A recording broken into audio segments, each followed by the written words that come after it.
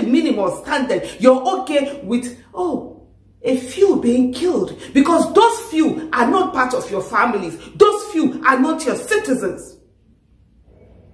We do not need handouts from you. We do not need handouts from, from these nations. You sit down, you constantly want our country to be down. You want our continent to be down so that you say, oh, we sent them five million pounds for the election. Taxpayers' money. Do we look like we need five million pounds? Does Nigeria look like it needs five million pounds? So, guys, the British High Commissioner to Nigeria has come under fire by Aisha Yesufu for commending the 2023 election in Nigeria. She said the election was fair, as in she's commending this election, telling INEC that they did a good job. She was like, it was just few people that were killed. You can imagine these people that enjoy full democracy in their own country. We all know that the United Kingdom had their election not quite long. There was no recorded killings as in in the UK. But when it comes to Nigeria, we saw all that happened during the presidential and even the governorship election. And this woman has the boldness to tell the world that this election is commendable. I don't know. Is it that, you know, is it that they are just carried away by, they don't want the politicians to start talking against them or what? Why is it that they are falling that cheap to our politicians? Why why are they aligning with our politicians? Instead of them to call a spade a spade. You know even a blind man has seen what has happened in nigeria during this election season. As in there've been so much violence in this election. Check out what happened in lagos yesterday. How people were killed. People were denied the, their voting rights you know some tribes were asked not even to come out to vote that if they attempt coming out let them just know that they are coming out to vote for the apc these were some of the things that we saw during the presidential election and also during the governorship election. And i tell you this woman is telling the world that this election is commendable. So guys aisha yesufu has taken on her.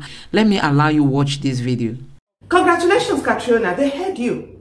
Yes indeed they heard you You came out to tell us that the 2023 election, you found it fascinating. You found it fascinating that people were killed. You found it fascinating that people were injured, people were harmed. You found it fascinating that results were being changed. You find it fascinating that violence was brought into the election. Well, they've heard you. They've heard you loud and clear. And the gubernatorial election, they unleashed more violence. More people have been killed. More people have been harmed. More people have been disenfranchised. More people have been refused to perform their civic duty. The same thing that you not accept in your own country. You come to our country and you sit down, you're fascinated by an election that is marred with violence because of course, it's, it's, it's a horror film you can watch live happening. Again and again and again we have stand this double standard, this standard. We do not want thing. You sit in your pretty little countries, you have election where people are free to go out and vote, where nobody is afraid for their lives, where nobody is killed when they go out for election, and then you come to our own place, you accept a minimal standard. You're okay with, oh, a few being killed because those few are not part of your families. Those few are not your citizens. We do not need handouts from you. We do not need handouts from, from these nations. You sit down, you constantly want our country to be down. You want our continent to be down so that you say, oh, we sent them five million pounds for the election. Taxpayers' money. Do we look like we need five million pounds?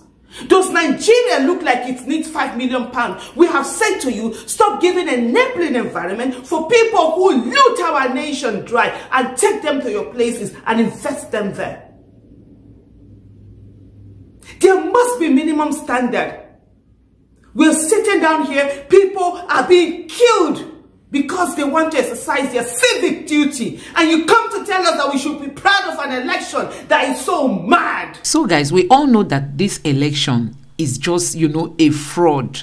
It's a fraud considering how INEC told Nigerians that they must get their PVC. And I tell you, people left their engagements to go for this PVC registration. We all know it was a tough task going to register for this pvc and when it was collection time it was another hell on nigerians just to collect their pvc and then when it also got to the time of voting people were intimidated and inec has gone on to and INEC has gone ahead to call results even without considering these areas that there were so much intimidations and you know voters were not allowed to come out to vote you know for fear of being attacked.